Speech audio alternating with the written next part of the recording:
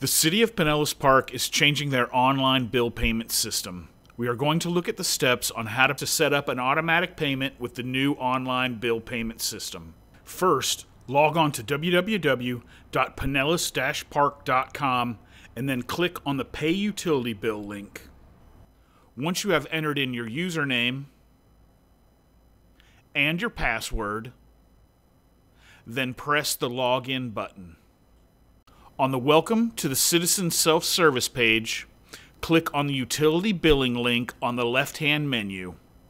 Then type in your account number and your customer ID number. Then click the Search button to continue the payment process. The search results page opens with your account information. Click on the Manage Bills link at the far right of the screen. Once you are on the Manage Bills page, click the Account Summary link on the left hand menu. This page provides you with a detailed listing of your account information. It also gives you links to request a change of address. Click the Automatic EFT Payments link to have your payments automatically deducted from your bank account. On the Automatic EFT Payments page, you will need to enter in some information about your bank account. First, you will need to enter in your bank name. Next, you will need to enter in your bank routing number. Then, you will need to confirm your bank routing number. Enter in the phone number for your bank. Then, you will need to enter in your bank account number. Next, you will need to confirm your bank account number.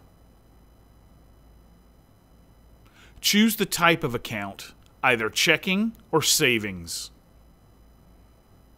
Your name will be pre populated, so next you need to enter in the phone number on your bank statement.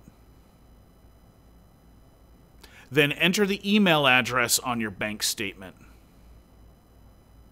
Once all the information has been entered correctly, click the Continue button at the bottom of the screen. On the Automatic EFT Payments Review page, you have the chance to review or adjust your banking information. If there is some incorrect information, click the Modify button. Otherwise, click the Submit button. After submitting your information, you will be redirected to the automatic EFT payments confirmation page. You will see a message that reads, You will be notified when automatic payments have started.